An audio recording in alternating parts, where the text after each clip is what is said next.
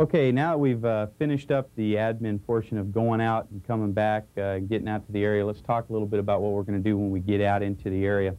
Uh, first thing we're going to do is to uh, enter the area here from the south, coming out of the Lawrenceville TACAN, and uh, we're going to drop down and head over here toward the town of uh, Phenix and start our low-level run. Now, a couple of things I'd like to talk about, safety considerations during our low-altitude awareness portion of it and during the intercepts. Whenever you come on any of the towns, there are some towers. We'll take a look at the map here. We'll try and avoid the towns to the north of them, what we have on the map. As you're coming up over the top of uh, some, uh, some of the houses and the buildings and things like that that we'll see out there, we just need to try and avoid those as much as we can possibly do that. I've already highlighted on the board here some of the real noise-sensitive areas. Remember the town of Farmville, uh, the Hampden-Sydney College, and of course the airports, the Farmville Airport, and the airport down here to the south. It's 1,500 feet over the top of the airports, 3,000 feet over the top of the noise-sensitive areas here. Okay, once we do get into the area, during the low-level run and during the intercept, you'll notice that the altimeter, or the altitude on the map there, is about 500 feet to 700 feet up in the north.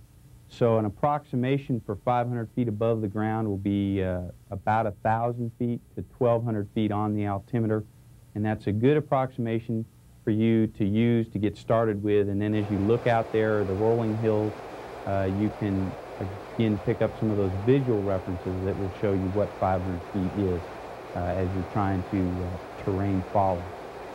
All right, so now we've pretty much talked about all the safety uh, hazards out there, and we'll head on out the door and get suited up.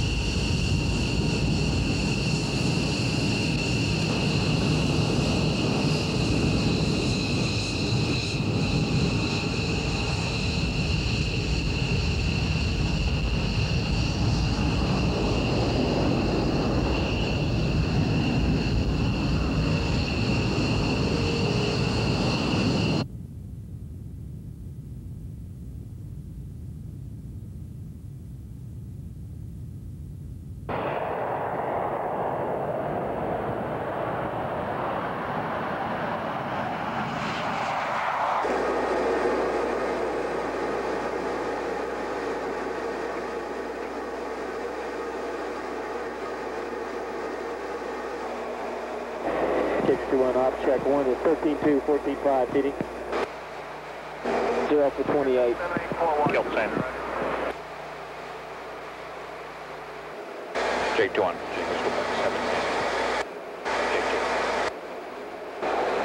And Jake 2, just hold this heading for a seconds.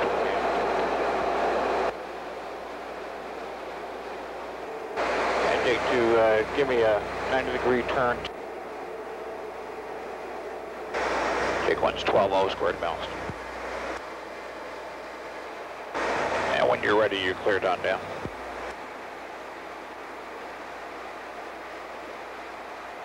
Jake 1's coming up on your right side.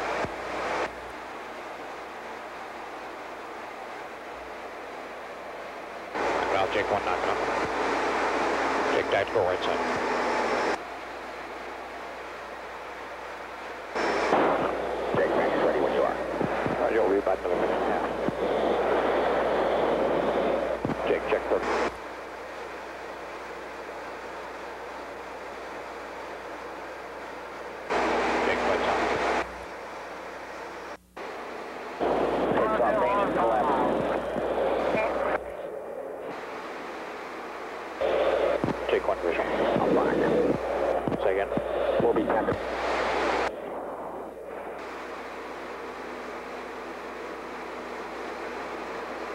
south.